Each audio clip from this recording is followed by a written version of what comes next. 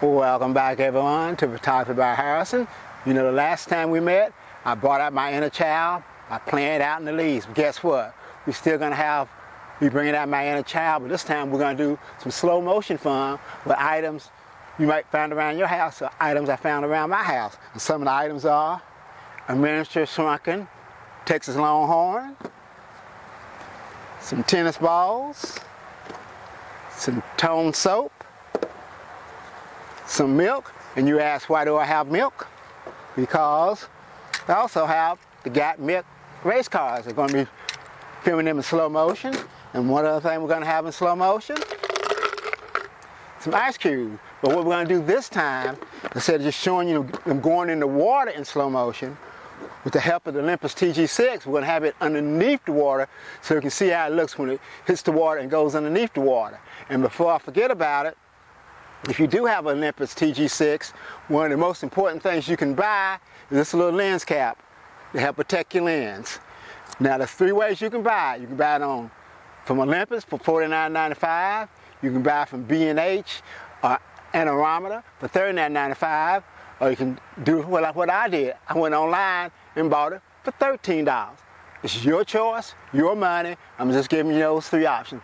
That being said, I see you on the other side of this high-speed, slow motion fun. Tennis balls dropped in the water in slow motion is cool, but tennis balls dropping in the water, being photographed from underneath the water, might just be a little bit cooler. Well, I think it is. What do you think?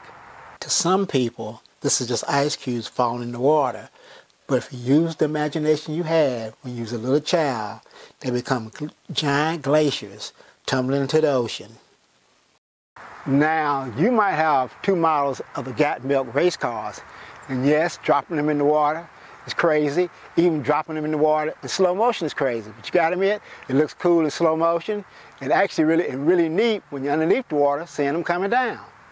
Of course, if you're going to drop the Got Milk race cars into water in slow motion, it's only natural you follow up the race cars and dropping into the water in slow motion. But of course, milk.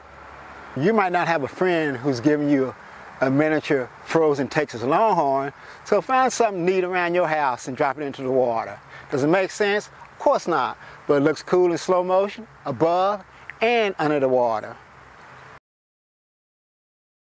I know you have a bar of soap around the house. What's your favorite? The one I'm using is Tone. So yes, it's just as foolish dropping it in the water in slow motion, but it does look cool. Like I said, above uh, underneath the water. Now, what I want you to do, grab some of the props around your house and break out your inner child and have some slow motion fun. And if you do have an underwater camera, whether it's the TG6, or the Nikon, or CNC, whatever other underwater camera you have, add it to the to the mix because yes, it's cool seeing the objects hitting the water from above, but looking at them from, from the water, looking up, sometimes adds a different perspective.